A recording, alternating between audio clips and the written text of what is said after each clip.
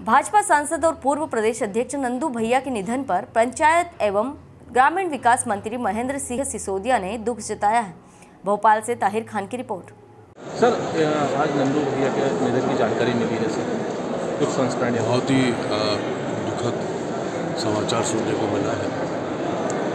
नंदू भैया को मैं कई सालों से जानता था। बहुत ही सज्जन बहुत ही सरल स्वभाव के व्यक्ति थे।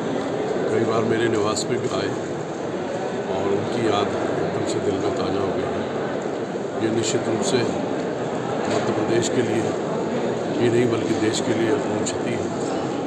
और हम सब उनको ईश्वर से यही प्रार्थना करते हैं कि जहाँ कहीं भी रहें, ईश्वर उनको सदैव अपने चरणों में स्थान हेलो फ्रेंड्स आप देख रहे हैं हमारा channel S W twenty four news हमारे सारे वीडियो सबसे पहले देखने के लिए आप हमारे चैनल को सब्सक्राइब करें और पास में लगे बेल आइकन को दबाना बिल्कुल भी ना भूलें।